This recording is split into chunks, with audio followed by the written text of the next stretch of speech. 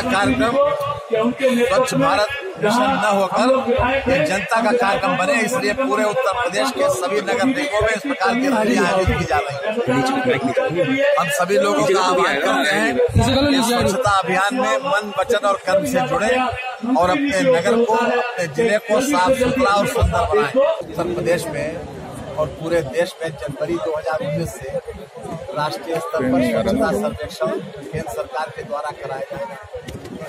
यार हाँ, ट्रेन में आ रहा है यार। प्रदेश में भी उसका विशेष रूप से क्लोज ले आईडी तो आ गई है। क्योंकि पिछले वर्षों में उत्तर प्रदेश को वो उपलब्धि नहीं हो पाई जो होना चाहिए। इसलिए हमने स्वच्छ वार्ड प्रतियोगिता का आयोजन किया जो 15 नवंबर से लेकर 15 दिसंबर 2018 तक चलेगी। और इसमें जिन वार्डों का स्वच्छता में प्रदर्शन सबसे अच्छा होगा उनके ज़िले स्तर पर उनको पुरस्कृत किया जाएगा। और अगर और अच्छा बेहतर कोई नगर करेगा कोई लोकल बॉडी करेगी तो उसको प्रदेश स्तर पर हम सम्मानित करेंगे 25 दिसंबर को। हमने इसीलिए सभी नागरिकों से एक शपथ की अपील की है कि एक लाइन की हम शपथ लें कि हम मन वचन और कर्म से स्वच्छता को अपनाएँगे।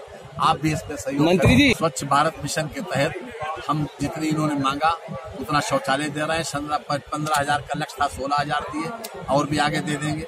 जितने भी चाहे पिंक टॉयलेट चाहे सार्वजनिक टॉयलेट चाहे चाहे सामुदायिक टॉयलेट अगर ये जो भी मांगेंगे उसमें किसी प्रकार की पैसे की कमी नहीं है और न हम धन की कमी उसमें और आगे आने एक एक आग, आगरा का नाम अग्रवन घोषित करने की मांग विधायक जगन प्रसाद गर्ग ने उठाई है। उन्होंने कहा कि मंत्री से बात करूँगा।